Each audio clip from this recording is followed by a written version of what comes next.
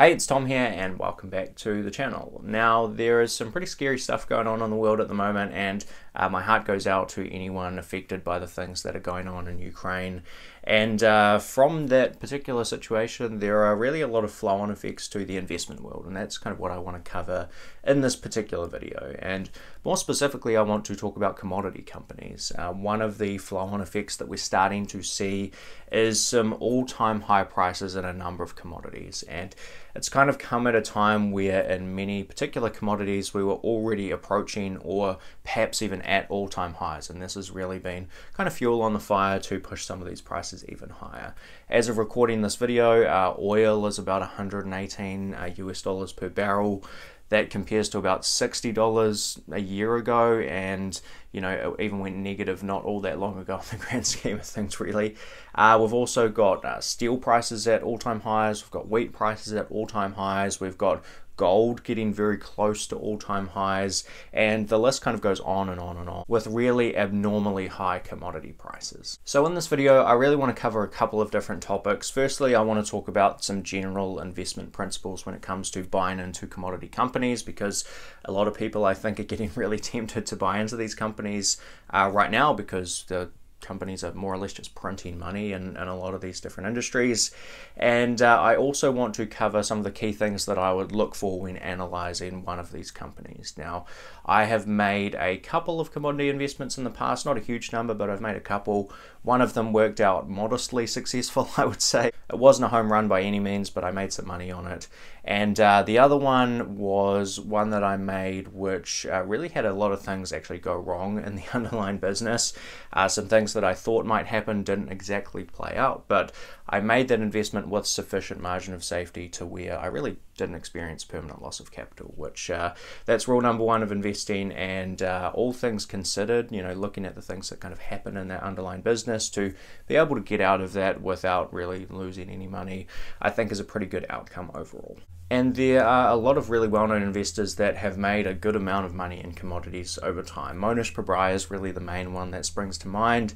He has uh, made a lot of money in commodities by making a basket bet in the financial crisis. He also uh, made about a 3x on a company called IPSCO in the early 2000s, and I'm sure the list is much longer than that, but those are at least the ones that he has spoken about. And he said that he feels pretty comfortable in commodities for the most part, although he has had a bit of a switch in investment strategy in the last couple of years. So that is the topic of today's video. But before we get into that, we do have a sponsor, and the sponsor for today's video is Sharesight. Now, Sharesight is the application that I personally use for really two different purposes. The first thing is it allows me to track my returns in a lot of detail. For uh, me here in New Zealand and making a lot of investments outside of New Zealand, uh, I have some extra things that I need to consider um, versus if I were just investing only in my home country. And uh, that means that Sharesight becomes really powerful for me because it allows me to track capital gains or losses. It also allows me to track any currency fluctuations and any dividend income that uh, comes into the portfolio as well. So I can get a really good understanding of what my true returns actually are. It integrates with all of the brokers that I use, so it automatically pulls through any trades that I might make. They appear in Sharesight, and the tracking is really accurate kind of as soon as I, I make those investments. And the second reason I use it is basically to make tax time very simple. Um, again, taxes can get very complicated, particularly if you have investments in a number of countries like myself. So to be able to go into Sharesight, extract a couple of reports, send them off to my accountant, and really not have to worry too much more about it, uh, that's super beneficial for me. So if you're interested in checking out Sharesight, there is a free version that you can use forever if you have less than 10 holdings. But if you want to check out one of the uh, premium subscriptions, there will be a link down in the description below that will get you four months free of an annual subscription, which is sharesight.com forward slash investing with Tom. So if you're interested, definitely check it out. Um, I don't partner with a lot of different uh, kind of companies to have sponsorships here on the channel, but uh, Sharesight is one of the ones that I'm really pleased to be partnering with. I've used the software personally for a long period of time, and I think it's fantastic. So if you're interested, uh, definitely check that out. But without further ado, let's get into the video. Okay, so let's start talking commodities. Now, I am going to generalize a little bit uh, in this video just for educational purposes and uh, there will be exceptions to some of the things that I'm about to say, but as a general kind of rule of thumb when it comes to investing in different commodity style industries, uh, I think a lot of these sort of rules apply. So, um, commodities in many ways are a big kind of contrast to Warren Buffett's great business or perfect business. If you think of how Buffett describes a great business, he says that a good business earns a high return on capital and a great business earns a high return on capital and grows. And uh, ideally, there's a few things that kind of come alongside that. Typically, in order to earn a high return on capital, um, it's really a lot easier if you are a capital light kind of business model. You don't have a lot of physical infrastructure maybe you're Coca Cola or Apple and you can charge significant premiums for your products based off your brand. And in inflationary periods and, and so on, you can increase prices alongside inflation or maybe even at a higher rate than inflation. Typically, many of these great businesses also have high margins. That's uh, not a blanket rule across all of them, but businesses like Apple and Coca Cola and so on have high margins uh, and pretty consistently high margins as well. And the consistency part is arguably more important than the actual uh, absolute margin percentage. Take Costco, for example, which has very low margins, but they are very, very consistent over time. And that's been a great kind of compounding investment over time as well.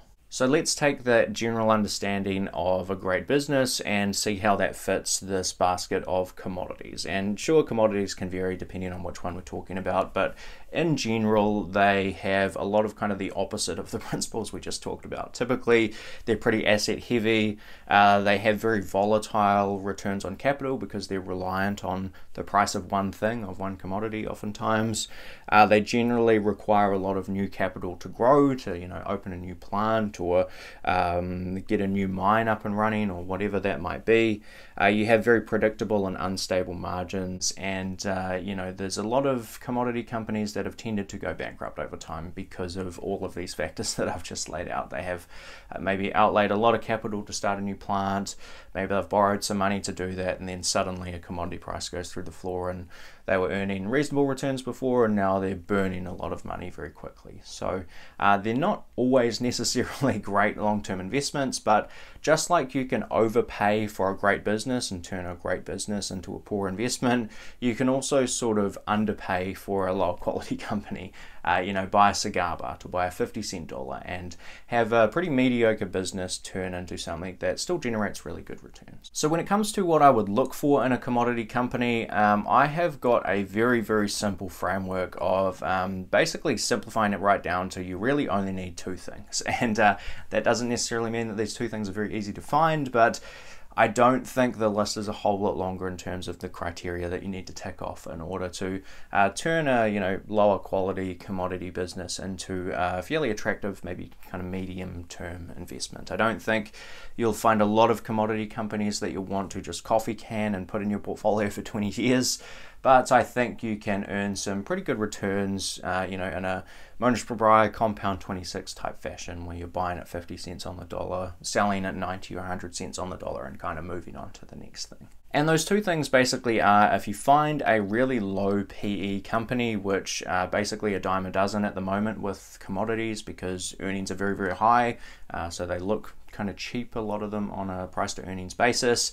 Uh, the first thing you need to understand is what is going to happen with the E. You know, if something is trading at three times earnings or two times earnings or even one times earnings, which there are some of these things starting to pop up, you really need to understand are those earnings sustainable? And they don't necessarily have to be completely sustainable. If something's trading at a PE of two and it can maintain that rate of earnings for two years, then you've kind of earned the market cap back. And it kind of really doesn't matter a huge amount what happens in year three. So that is the first thing we need to understand is what happens with the E. And there are a couple of things that you can kind of do to understand the earnings moving forward. In some cases, you will find commodity businesses that are just purely exposed to whatever the spot market price is right now. So, you know, when you go on your phone and look up the price of oil or the price of wheat or something, that will be the actual amount that a lot of companies potentially are earning. But in many cases, there are commodity businesses that might have certain hedges in place so that uh, they kind of smooth out the ride in commodity pricing. And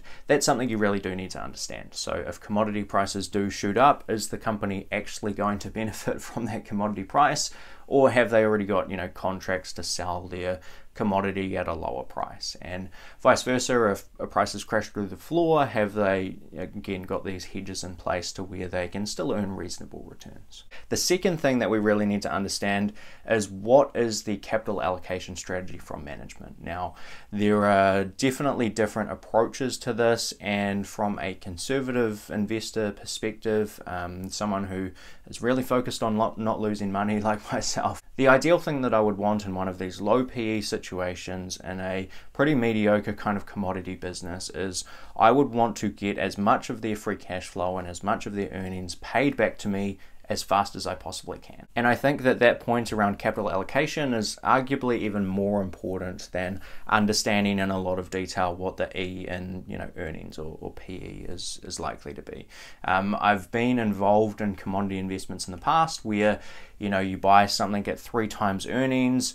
Uh, in one particular situation, which was a company called GrafTech, we had uh, basically contracted earnings for the next kind of three to five years. We had a pretty clear understanding of how much money GrafTech was going to make. And uh, they actually kind of did go through, they stumbled on a couple of things, but they earned, you know, pretty close to the amount we actually thought they were going to earn. But the issue really was capital allocation. Now, uh, you know, when I first got into GrafTech, which was actually a Mohnish Pabrai investment, uh, a lot of those earnings were being paid out immediately back to shareholders in the form of dividends and in the form of share buybacks. But when we got to the March 2020 kind of pandemic and the GrafTech management got a little nervous, they really turned off the uh, dividend machine to a significant extent and uh, instead that capital was used to pay down debt. And if you're going to be a long-term shareholder in a company, that can be a pretty reasonable use of capital. If you're paying off debt at say a five to seven percent uh, interest rate, that's effectively a five to seven percent kind of guaranteed return that you're earning on that capital. But a business like GrafTech wasn't intended to be a long-term hold for me. It was something where uh, I was going to earn my money back in three to five years because they were going to have earnings equivalent to the market cap over the next three to five years. And as a shareholder, I really wanted to get that cash out of the business, effectively take the money and run and uh, whatever cash I could get for my shares, kind of after that big capital return, uh, is all sort of cream on top, really. And again, this is going to be a bit of a general statement, and there uh, are exceptions to what I'm about to say here. But um, really, one thing that I see a lot of commodity companies do, which just happens over and over and over again, is effectively any time that there are these big booms in commodity prices, one of the first things that a lot of these management teams want to do is they want to expand production because anytime they uh, lay out some plans or you know model forward some financial projections for starting up a new plant or opening a new mine or making an acquisition um, they will often look really really attractive. They'll be earning super high returns on capital because commodity prices are so high and they'll be making a lot of money and the issue with that really, and again this comes back to maybe like a frontline shipping, which was an old investment from Mohnish Pabrai, is that a lot of these businesses go through very short and very aggressive cycles. So uh, take frontline shipping for example, where you know shipping rates went through the roof. Uh, a lot of these shipping companies then went out and put in new orders to buy new ships to expand capacity and try and make even more money. And if uh, shipping rates had remained high, that would have they would have been printing cash on these new ships. Now the trouble is that it takes you know two three years for these ships to actually turn up. There is a lag time, and by the time these ships turn up, basically everyone else's new ships are turning up as well, and there's this incredible oversupply of ships, and rates go down. And you kind of see that theme through almost every commodity type industry, where you have these huge booms and busts. Uh, when there are busts, no one wants to spend any money on new projects. When there are booms, everyone wants to spend all their money on new projects to expand capacity, and uh, it's just really been a rough, kind of bumpy ride in most cases. So there have it. Those are my two cents on uh, commodity investing in general. I haven't made a commodity investment for a little while, but there are a few that are kind of on my radar right now, just with kind of the extremes that we're seeing at the moment. I think it is very easy to get burnt in a lot of these things, and there are definitely some aspects of commodities that are not that attractive as long term investments. So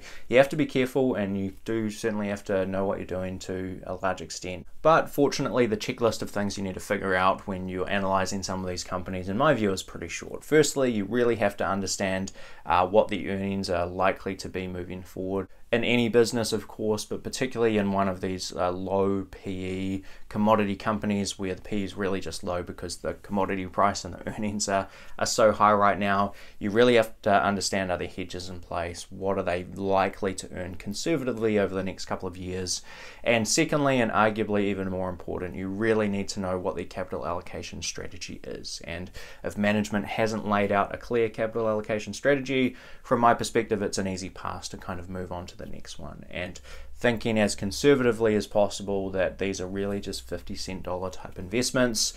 Uh, to a large extent, I really just want that capital back in either um, massive dividend payments or in a big uh, share buyback or tender offer for some stock. So um, that's kind of the way I view it. It's not a perfect formula, but I think some of those rules and general principles will work pretty well over time. So if you did enjoy the video, uh, please hit like and also subscribe if you're new here. I really hope you enjoyed it. If you're interested in the Sharesight offer, offer, head to the link sharesight.com forward slash investing with Tom. That will get you four months free off of an annual subscription.